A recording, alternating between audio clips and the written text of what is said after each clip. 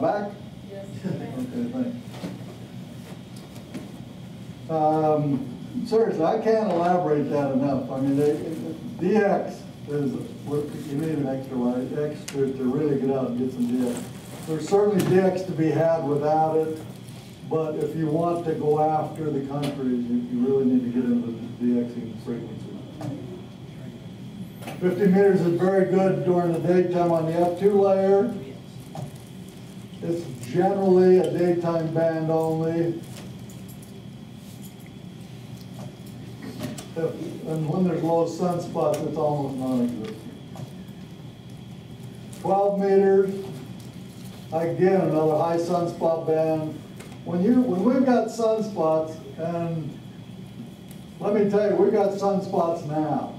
We're right in the top of cycle 24 of what they call an 11-year cycle. This is probably closer to a 13-year cycle because we had about two years of zero sunspots. I mean, zero. We have no sunspots for two years. This is building up. It, they don't know when it's going to peak, but they're speculating it's going to peak maybe sometime next year. Then the sunspots numbers will start going back down again. And then it'll be another 11 years from now, or 12 or 13 years from now before we get into high sunspot. And if you're interested in taking advantage of these bands and want to get out and work some DX, I highly recommend you get serious about doing this. This year, next year, year after is going to be your, probably your prime time. Go ahead. So field day should be pretty good Field day should be real good. Field day was real good last year. Yeah. Field day was okay the year before, uh, but field day should be real good this year for sunspot. Unless we have some solar activity, which I'm going to talk about.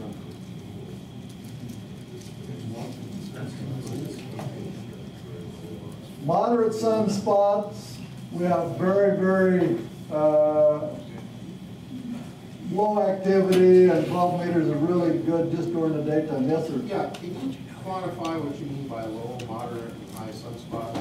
I know you mean the sunspot number, but I, I'm gonna go through that kind of stuff towards the end of my presentation. Thank you for the question. I'm gonna go through that in some detail. And if I don't exactly answer your question, ask it again, please.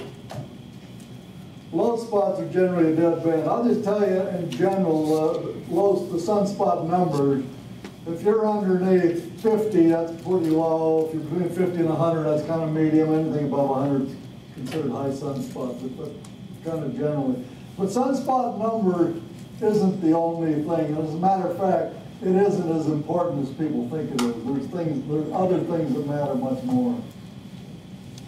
Some sporadic E from late spring through summer and midwinter for 12 meters. And again, this is another work band. This is the last of the three work bands. 30 meters, 17 meters, and 12 meters of the work band. Yeah. When they're high sunspots, 12 meters is fabulous. I mean, it is fabulous. You can work the world. You can work the world with 100 milliwatts on a dipole. When sunspots are high and 12 and 10 meters are open. Absolutely, it's just fabulous. Last night, instead of being on the radio, I was working on my presentation, but uh, the guys in the club said 20 meters is the best they've seen it in years. it was hot, it was great last night. Really good, really good. But I was out at 7QP uh, Saturday night, 40 meters was fabulous. I mean, this is a great time to be on the air. If you if you want to get into the DX scene and you've been putting it off, putting it off, or afraid to, or whatever, just contact somebody that you know, we'll help you. We'll, we'll give you direction. Just what kind of rig you got, what kind of antenna you got, what time of day is it, what to get it here, you point, if you can, if you can turn your dipole or restring your wire or something, uh, the best place, the be, people ask me, what where's the, what's the best place to put an antenna? You got a fixed antenna, like Chad was asking me the other day. If you have a dipole, and if you can only set it up for one location, set it up for northeast. In other words, put your, put one end of your dipole northwest and the other end of your dipole southeast. And that means your antenna is pointing to Europe and to Asia. Follow me? You're gonna get a lot of DX working Europe and Asia.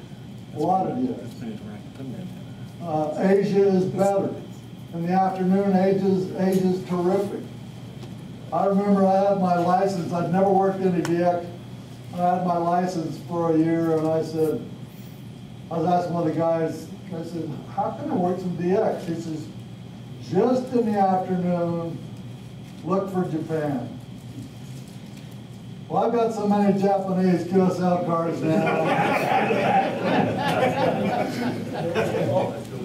When I work these, when I work these contests and I see uh, section twenty-five, I don't even answer them. I mean, Too, too much, it was too much. Was- You gotta be careful what you ask for, I guess.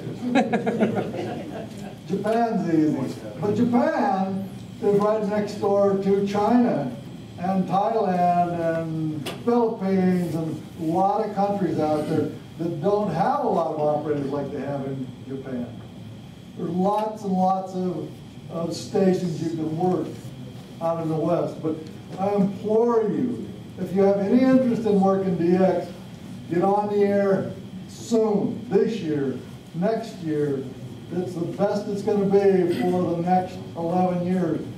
And some of us aren't gonna be as active as we are in eleven years. Right, John? You'll still be here, John. We just don't know what shape you'll be in.